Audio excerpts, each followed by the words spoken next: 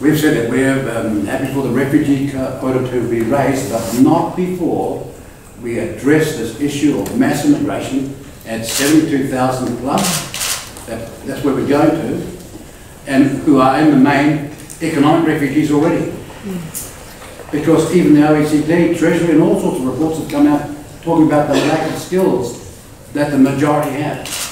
Of course, we, we should, through the UN program. We could easily do that. But we need to address the mass immigration we've got now, which is not paralleled by any country voluntarily anywhere else in the world. Oh, I, I just want that we should do, we should do a far better job than what I'm seeing at the moment.